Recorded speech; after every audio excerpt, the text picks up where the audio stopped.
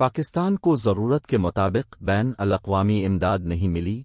आलमी इदारे और कर्ज़ों की छूट दे, सेक्रेटरी जनरल अकवाम मुतहदा शर्म अशेख एजेंसियाँ अकवाम मुतहदा के सेक्रेटरी जनरल अंतोनियो गोतरेस ने कहा है कि सैलाब से पाकिस्तान में फ़सलों, लोगों के रोज़गार और निज़ाम ज़िंदगी को शदीद नुकसान पहुँचा। और लोगों का सब कुछ तबाह होगा। पाकिस्तान आलमी बरादरी की भरपूर मदद का मुस्तक है। पाकिस्तान को ज़रूरत के मुताबिक बैन अवी इमदाद नहीं मिली। पाकिस्तान को मुश्किल से निकालने के लिए सबको अपना किरदार अदा करना चाहिए। आलमी मालियाती इदारे और जी बीस ममल्क पाकिस्तान को कर्जों में छूट दें, जबकि वज़ीर आज़म मोहम्मद शहबाज शरीफ ने कहा है कि मौसमियाती तब्दीली के बायस जो तबाही। पाकिस्तान में हुई वो पाकिस्तान तक महदूद नहीं रहेगी। सैलाब से हमारे समाजी व इकतसादी निज़ाम को शदीद नुकसान पहुँचा है।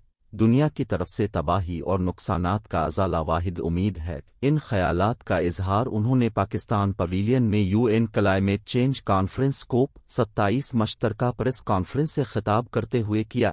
इस मौके पर अंतोनियो गोतरेस ने कहा कि पाकिस्तान मौसमियाती तब्दीलियों से सबसे ज़्यादा मुतासर होने वाले ममालिक में शामिल है। मुश्किल की इस घड़ी में पाकिस्तान को मदद की ज़रूरत है। आलमी बरादरी की ज़िम्मेदारी है कि वो पाकिस्तान की इस सूरत हाल में बहाली और तामीरेनों के अमल के लिए बड़े पैमाने पर भरपूर इमदाद करे। इस हवाला से बहुत कुछ करने की ज़रूरत है। तबाही और नुकसान के अजाला के हवाला से कोप सत्ताईस को वाजे रोड मैप बनाना चाहिए। इससे पाकिस्तान को भी फ़ायदा होगा।